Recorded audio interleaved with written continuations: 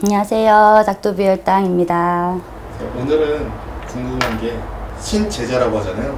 제자의 사주는 타고나 난 건지에 대해서 궁금하거든요. 사주가 정해지면 무조건 제자를 해야 되는지 아니면 안 해도 되는지에 대해서 궁금합니다. 제자의 사주는 타고는 납니다. 어, 타고나기는 하나 타고났다고 해서 제, 다 제자를 불리거나 하지는 않고요.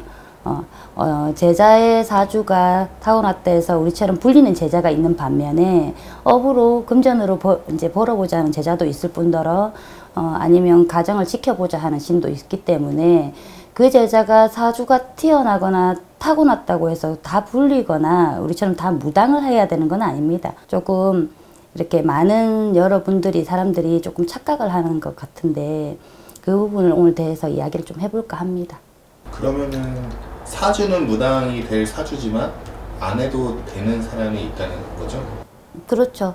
사주는 타고는 났다고는 하나 안 해도 되는 건 아니고 신이 선택을 해야 되겠죠.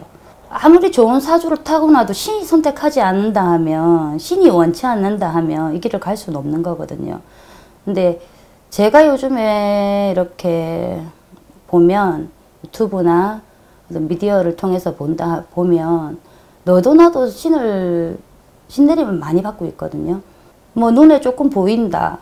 귀로 조금 들린다. 꿈을 좀 꾼다. 몸에 조금 이렇게 감이 온다 이래서 다 너도 나도 다 신이라고 합니다.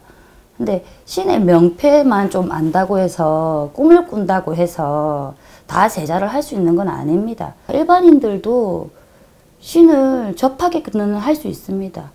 접하는 거하고 신이 와서 신명을 모셔야 된다고 선택을 받는 거하고는 또 틀리거든요.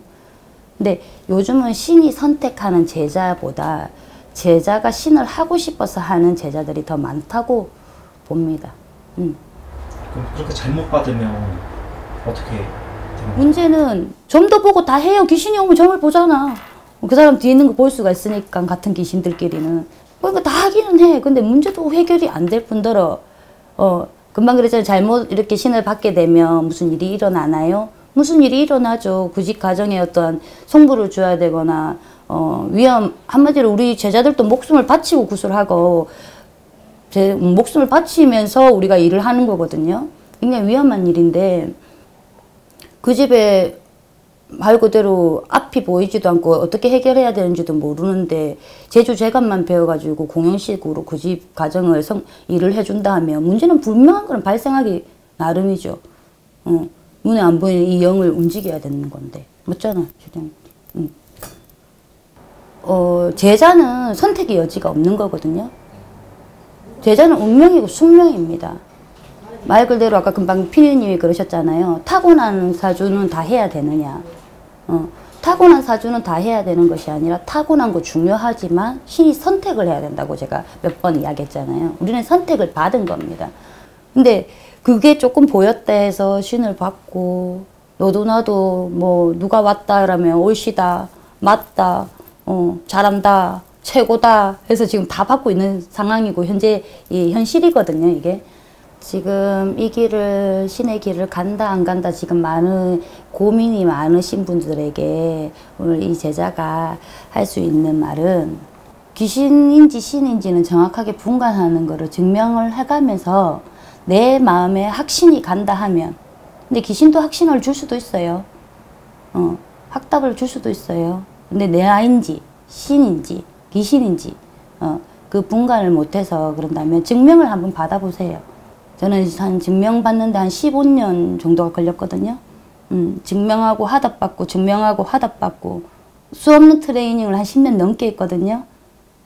그제서야 이제 내가 내 스스로에게 당당하고 모든 이들의 많은 분들에게 당당한데 정말 스스로 가슴에 손을 얹어놓고 내가 신인지 확인이 되었는지 그리고 많은 분들이 상대들한테 제자라고 할 수 있으면 그 제자한테 확신을 주세요.